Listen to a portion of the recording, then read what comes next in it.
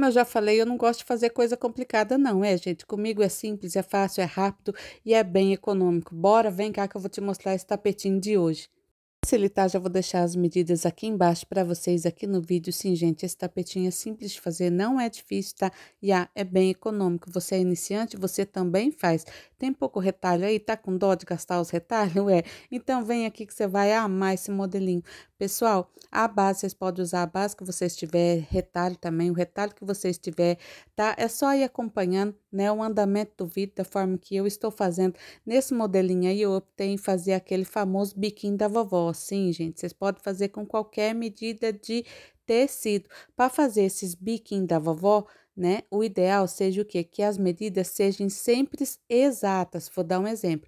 10 por 10, 12 por 12, 15 por 15, sabe? Porque daí você consegue dobrar ele sem ficar aqueles restos de tecido, sabe? Você dobra ele, ele fica certinho. As tiras, pessoal, também, vocês podem usar as medidas que vocês quiserem, tiverem, tá? Gente, sem mentira nenhuma, eu demorei aproximadamente para montar esse tapetinho aí apenas 10 minutos. É isso mesmo, 10 minutos tá, gente? Eu tô falando para vocês, ele é bem rápido de fazer e econômico. Ah, Gema, eu sou, eu sou iniciante, eu vou demorar um pouquinho mais. Não tem problema, gente, vocês podem demorar um pouquinho mais para montar, claro, né?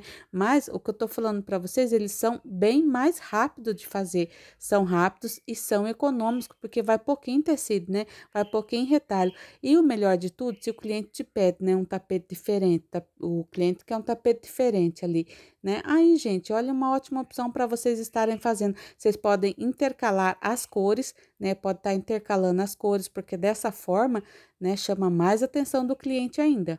Depois que fez todo o processo, gente, agora eu vou iniciar o processo do acabamento. É, para fazer o acabamento desse tapete aí, eu usei tira de malha, assim, gente, malha mesmo, tá? Essas tirinhas de malha aí, vou deixar a medida aqui embaixo aqui para vocês, né? E fiz com as tirinhas de malha. Pessoal, dá para fazer tranquilamente. O único detalhe, tá?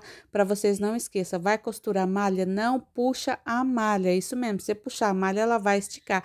Meus amores, esse foi o resultado. Simples, fácil, rápido, econômico. E aí, gostaram? Espero que sim. Ah, curte, comenta, compartilha e muito obrigada. Beijos!